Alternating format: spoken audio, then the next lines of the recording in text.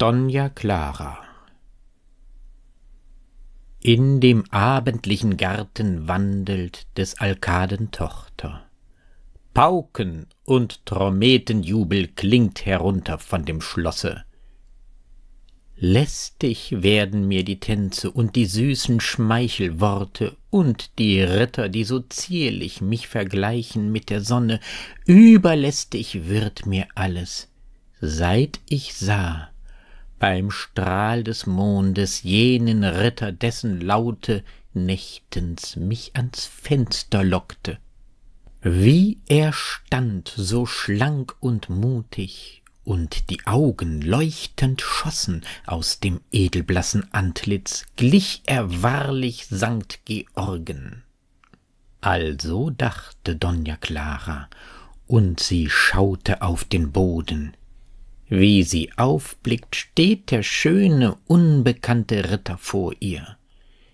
Hände drückend, liebeflüsternd wandeln sie umher im Mondschein, und der Zephyr schmeichelt freundlich, märchenartig grüßen Rosen. Märchenartig grüßen Rosen, und sie glühen wie Liebesboten. Aber sage mir, Geliebte, warum du so plötzlich rot wirst. Mücken stachen mich, Geliebter, und die Mücken sind im Sommer mir so tief verhaßt, als wären's lange nasge Judenrotten. Laß die Mücken und die Juden, spricht der Ritter freundlich kosend. Von den Mandelbäumen fallen tausend weiße Blütenflocken. Tausend weiße Blütenflocken haben ihren Duft ergossen. Aber sage mir, Geliebte, ist dein Herz mir ganz gewogen? Ja, ich liebe dich, Geliebter, bei dem Heiland sei's geschworen, den die gottverfluchten Juden boshaft tückisch einst ermordet.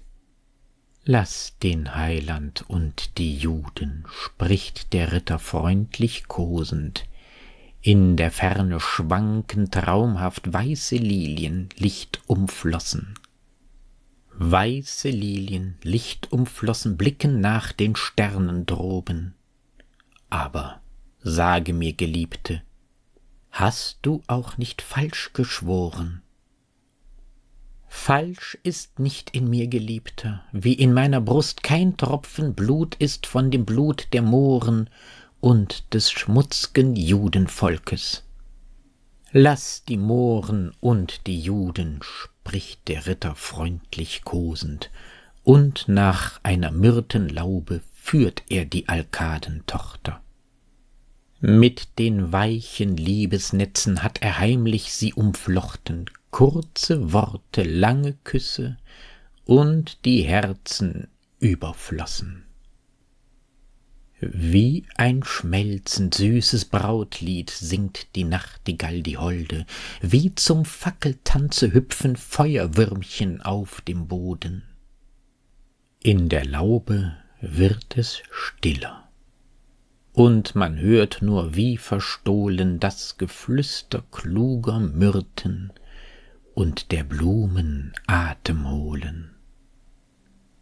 Aber Pauken und Trommeten schallen plötzlich aus dem Schlosse, und erwachend hat sich Clara aus des Ritters Arm gezogen. Horch, da ruft es mich, Geliebter, doch bevor wir scheiden, sollst du nennen deinen lieben Namen, den du mir so lang verborgen. Und der Ritter heiter lächelnd, küßt die Finger seiner Donja, küßt die Lippen und die Stirne, und er spricht zuletzt die Worte. Ich, Senora, euer Geliebter, bin der Sohn des vielbelobten großen Schriftgelehrten Rabbi Israel von Saragossa